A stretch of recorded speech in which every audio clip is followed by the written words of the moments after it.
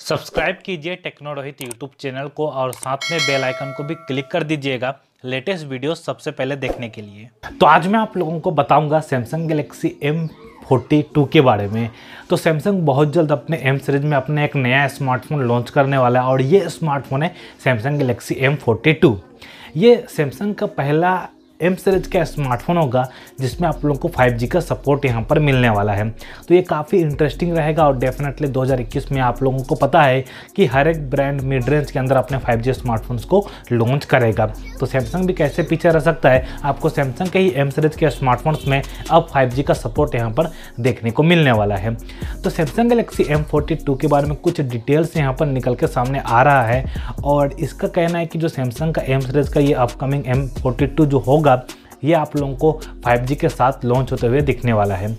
अब इसके ऊपर एक कन्फ्यूज़न भी है कि ये कोई नया स्मार्टफ़ोन आएगा या फिर जो सैमसंग के ए के अंदर लॉन्च हुआ था सैमसंग के ए फोर्टी टू उसी स्मार्टफ़ोन का रिब्रांडेड वर्सन यहाँ पर होगा। क्योंकि कुछ रिपोर्ट का कहना है कि जो Samsung Galaxy M forty two आएगा, ये सैमसंग के ए सीरीज़ में जो लॉन्च हुआ था ए फोर्टी टू उसी का रिब्रांडेड यहाँ पर होने वाला है, जिसमें आप लोगों को six point six seven six inches का एच डी प्लस डिस्प्ले मिलता है छः हज़ार एम एच का बैटरी मिलता है टाइप सी का चार्जर मिलता है, पंद्रह वाट का और फोर्टी एट मेगा का कैमरा देखने को मिलता है।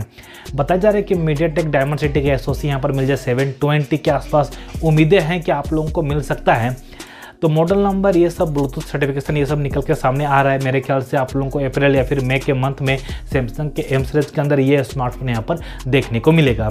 तो इंटरेस्टिंग है। अब देखते हैं कि सैमसंग के और कितने स्मार्टफ़ोन में आप लोगों को 5G का सपोर्ट मिलता है। क्योंकि अब एम सीरीज़ में तो 5G आना स्टार्ट होगा, क्योंकि ए सीरीज़ में ऑलरेडी 5G स्मार्टफ़ोन आना स्टार्ट हो चुका है। चाहे आप A thirty two five G को कह लीजिए, या फिर सैमसंग का ए फोर्टी टू और अभी लॉन्च होगा सैमसंग का A fifty two A seventy two five G तो अब हर एक कंपनी यहाँ तक कि नार्जो भी जो आया था नार्जो थर्टी प्रो ये आप लोगों को सत्रह हज़ार रुपये इसमें फाइव जी प्रोवाइड कर रहा है। तो बाकी कॉम्पिटिटर ब्रांड के लिए भी एक कॉम्पिटिशन है कि वो कब अपने फाइव जी स्मार्टफ़ोन को कम दाम में लॉन्च करे, क्योंकि फ्लेक्सिव 5G स्मार्टफ़ोन तो 2019 के लास्ट से ही आना स्टार्ट हो चुका था। 2020 में आप लोगों को लगभग 25 या फिर तीस हज़ार रुपये में 5G स्मार्टफ़ोन मिलना स्टार्ट ऑलरेडी हो ही गया था और अब बीस हज़ार के अंदर भी आपको 5G स्मार्टफ़ोन यहाँ पर देखने को मिल रहा है। चाहे आप मोटो का कह लीजिए, चाहे आप एमआई का कह लीजिए, चाहे आप रियल के भी कुछ रियल का एक्स जो बीस में है, उसमें भी फाइव का सपोर्ट मिल रहा है। तो अब इस जो मार्केट है, जो ये जो प्राइस कैटेगरी है, अब उन कैटेगरी में सैमसंग ओप्पो वीवो इन सब स्मार्टफोन्स को यहाँ पर आना है।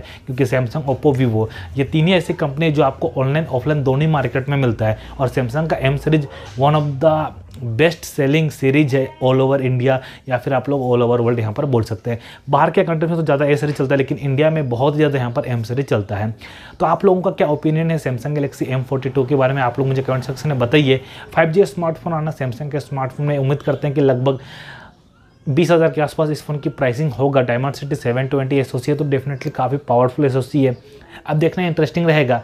जब भी आएगा, जो भी अपडेट आएगा, मैं आप लोगों को चैनल में अपडेट देता रहूँगा। तो प्लीज़ चैनल को सब्सक्राइब करके बेलाइकन को भी क्लिक कर दीजिएगा। Thank you so much